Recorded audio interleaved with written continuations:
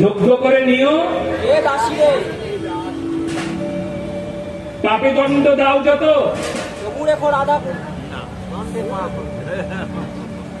দণ্ডে তবু যেন না ত্যাগিও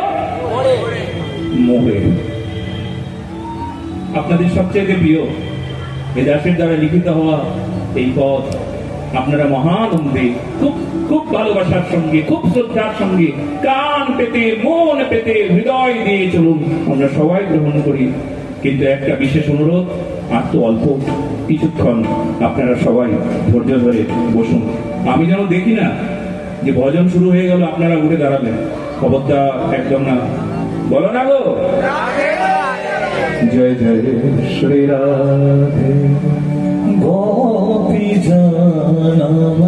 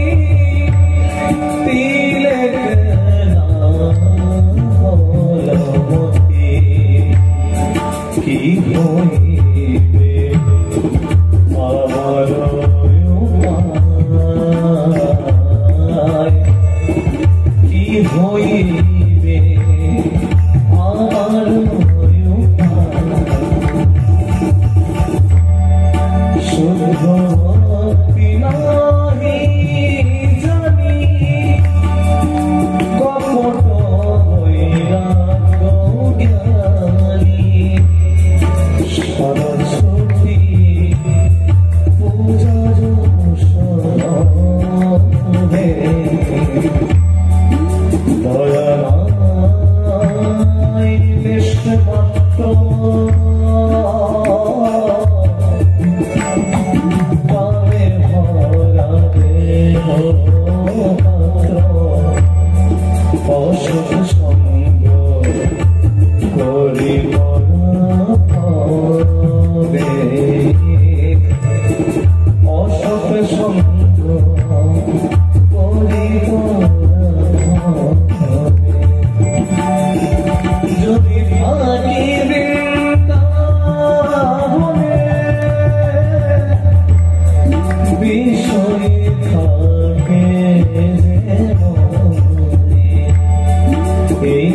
এই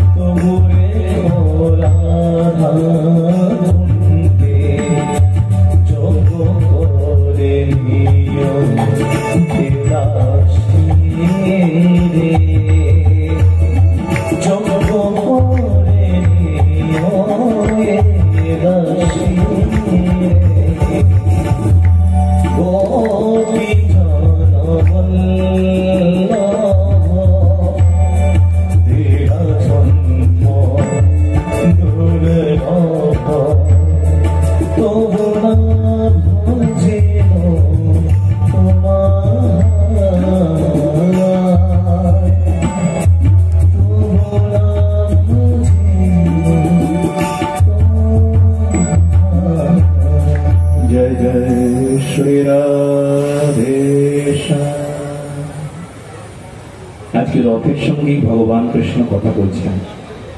এই পর্যন্তই থাকবেন। কাল রথে বসবেন উদ্ধব মহারাজ।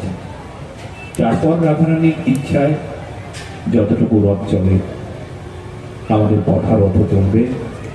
আনন্দ দিতে দিতে বৃন্দাবনে সবাই চলে যাব।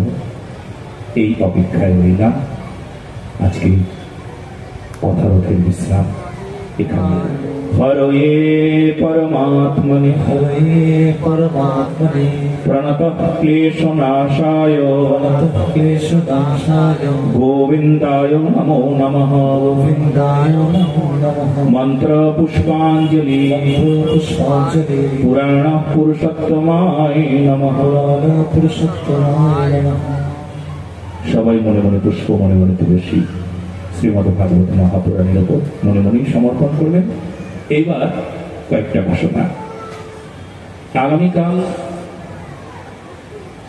ভগবান শ্রীকৃষ্ণ চৈতন্য মহাপ্রভু তার চরণ পাদুকা আসবেন।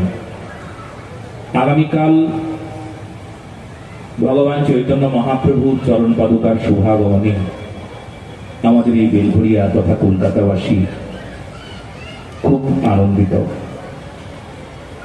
আমরা আগামীকাল আর পরশুদিন মহাপ্রভুর চরণ পাদুকা দর্শনের সঙ্গে সঙ্গে এই ভাগবতী কথা আস্বাদনের সৌভাগ্য পাব। একদিকে জগন্নাথ, একদিকে মহাপ্রভুর চরণ পাদুকা আর একদিকে ভাগবতী কথা। এই তিনটি একসঙ্গে যেন গঙ্গা, যমুনা, সরস্বতী, যেন ত্রিবেণী সঙ্গমে স্নান করবার ফল আমরা সবাই লাভ করব। মহাকুম্ভ হয়ে যাবে। মহাকুম্ভ কি বলে কুম্ভ কেমন করে হবে? বলে ত্রিবেণী সঙ্গমে স্নান হবে।